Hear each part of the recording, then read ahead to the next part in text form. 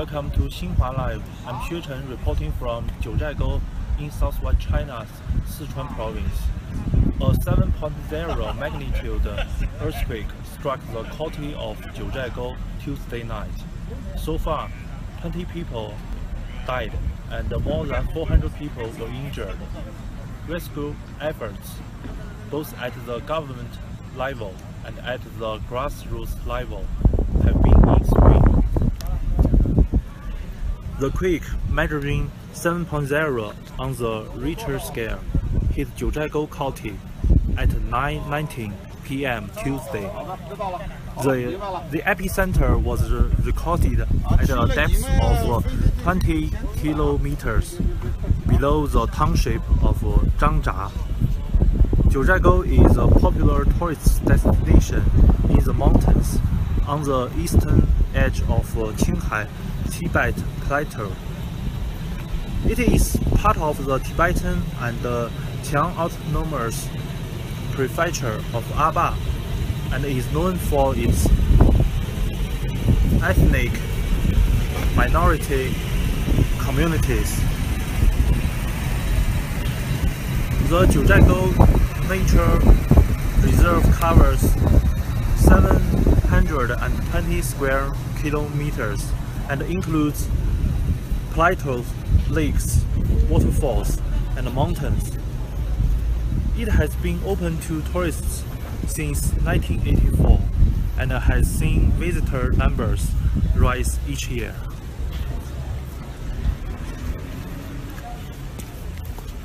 When the quake hit, tens of thousands of tourists were in Zhangzha.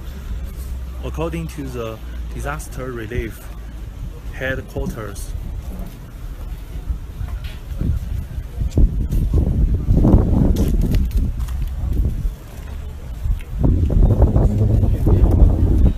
some 60,000 people, most of them tourists, have been evacuated as of 4, half past 4 p.m. Wednesday. The nature reserve was closed to the early Wednesday.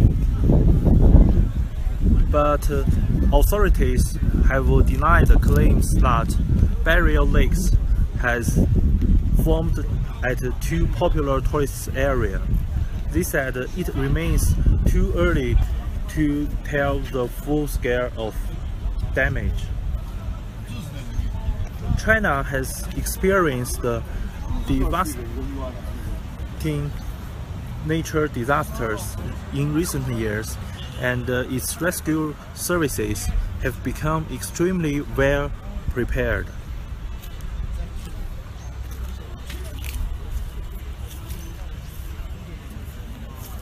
we can see some rescue tents have been set here.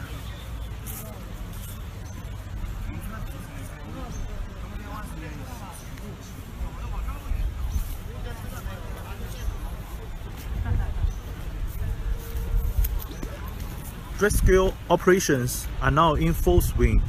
A wide range of uh, state units have been mobilized including disaster relief, police, firefighters, armed forces, geologists, medical staff, infrastructure maintenance teams, transport authorities, and the fuel suppliers. Rescue dog, life detectors, drones, and uh, laser sensors are among the equipment being used. Rescue teams are moved, at times on foot, to reach every village in the quake zone. Apart from the rescue efforts, media reports says a research institute in Chengdu, capital city of Sichuan province, and gave a warning 71 seconds before the earthquake struck. Now we will cross over to the Research Early Warning Institute in Chengdu and uh, speak to the person who made the decision to send the notification.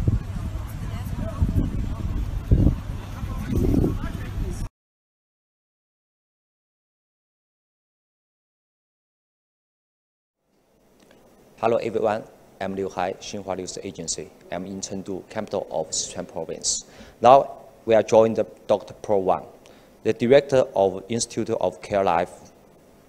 So, Dr. Wang, the 7.0 magnitude earthquake struck Jiuzhaigou in Sichuan Province on Tuesday. Some media reported Youth Institute successful gave early warning alarm for resident in Chengdu. 71 seconds before the earthquake came. So it is true? Yes, this uh, earthquake of 7.0 magnitude is early warning. And many people the, and the many public have actually received the alerts. Um, and for example, the people in Wenchuan County, Beichuan, and Maoxian uh, County received the alerts using the television. And also some people from Chengdu uh, get 71 seconds of early warning uh, using uh, the cell phones and or some loudspeakers. How did you send the warning to people in Chengdu? Uh, in Chengdu, uh, people uh, received the alerts using cell phones and uh, some uh, loudspeakers in the uh, software park. and also for some other loudspeakers in the um, buildings. What was the response from users that received the warning? Some people get evacuation, uh, evacuated right away, and some people uh, were wondering what's going on. And of course, with some more education, I think they should respond better. However, the system itself responds perfectly. And uh, some people actually uh, expressed the appreciations to our institute because we gave them uh, um, a good chance to evacuate. How does earthquake early warning work? And the earthquake early warning system actually uh, will give you countdown of seconds in case of earthquake.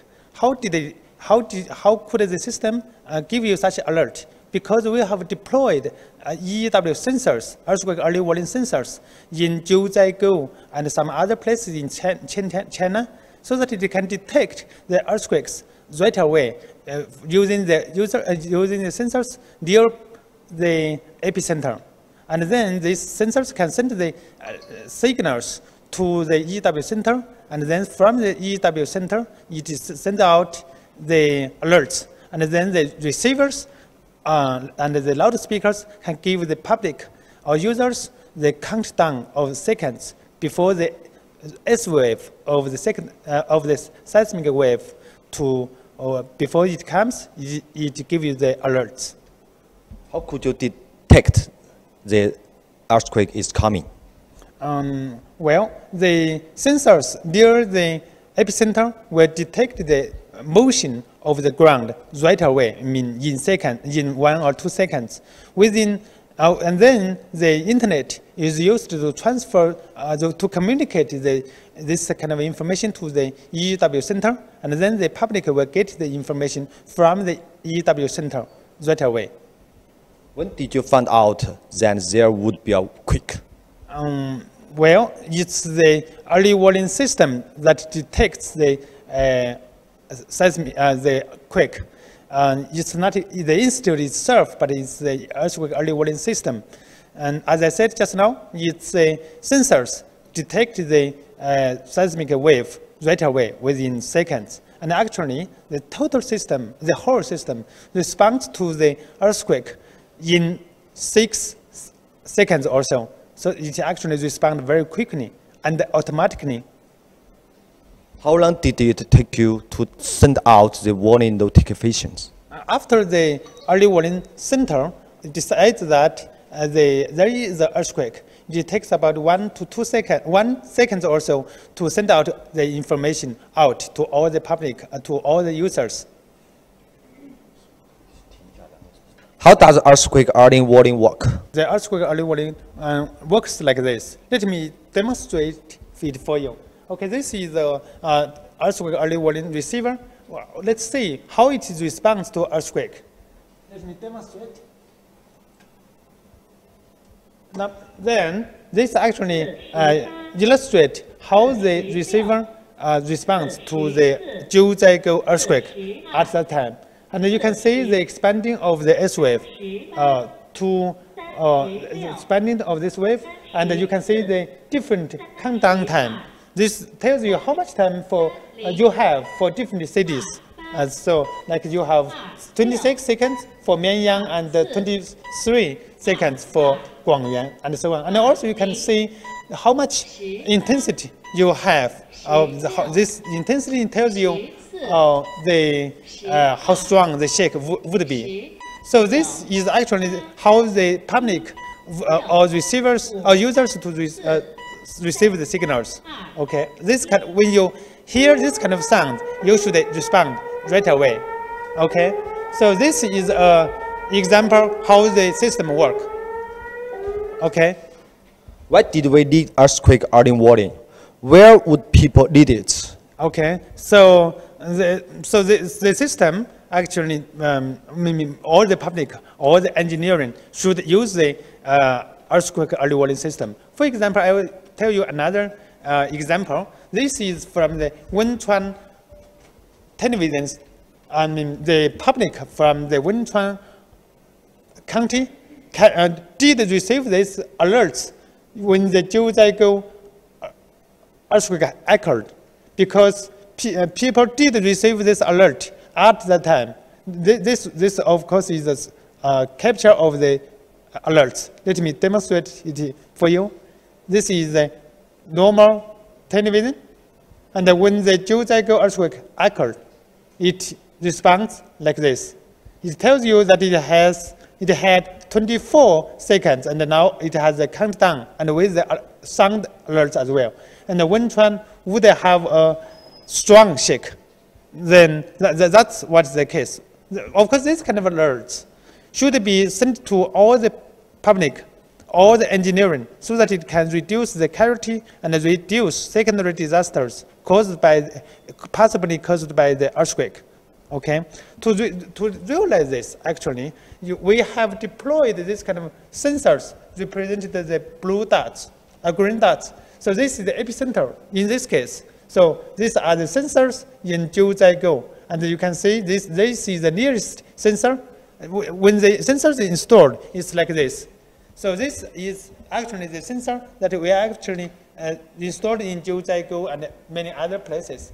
These sensors did send the early warning alerts and the signals to the earthquake early warning center. This center will analyze the data and then send out the countdown signal alerts to the public as I have just shown you. In what ways did the early warning help in the case of Jiuzhaigou?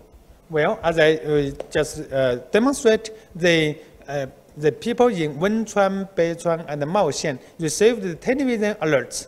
And the other public used their cell phones to receive the alerts, and some people in the uh, buildings used the loudspeakers to receive the uh, alerts, and so on. So, and also these early warning signals were transmitted to the uh, Chengdu subways, Xi'an subways, and some nuclear power stations, and uh, some chemical, chemical factories. These are this, they received the signals, however, the threshold is not reached yet. So they did not have the alerts, but if the intensity, the intensity of the, of the earthquake is bigger than the threshold, then they, they, their um, production line would be affected and controlled by the early warning system. Okay. Which country have more advanced earthquake early warning system? In terms of technology, China now has the most advanced technology in the world. We say this in two aspects. One, the response time of the early warning system in China is fast in the world. And second, the uh, reliability is the highest in the world as well, because during the last six years, there was no false alert uh, from this system. That's, th- these are the advantages of the China, Chinese early warning system. However, the number of users in Japan is much bigger than that in China. So because they had, they usually have more earthquakes, and also they paid more attention to the earthquake early warning system by the government as well. So in this aspect, we should learn that from Japan, and the world should collaborate together to move forward and to protect more countries with this earthquake early warning system. We are willing to work with other countries on this for, for, and for their people. How accurate are the earthquake early warning in general? Are there any other successful examples? In terms of the uh, earthquake early warning system, and based on our technology, then we actually had no false alerts. So false alerts, and, uh, and we didn't have the false alerts. But this is unique in the world, uh, as I, as I compared it with now, because we know that Mexico and Japan also have earthquake uh, early warning system. However, their system actually had uh, uh, false alerts. I think we would like to work with them to improve uh, their technology as well. And uh, mm, so, but for us, we still need to improve the system as well. Let me demonstrate this map for you. This map actually shows the distribution of the sensors in China and uh, Nepal. And actually, these two countries have their in, uh, early warning system interconnected, and this is the uh, inter, international early warning system uh, of the first one in the world. So uh, this is the case. Okay. How far has China gone in this field?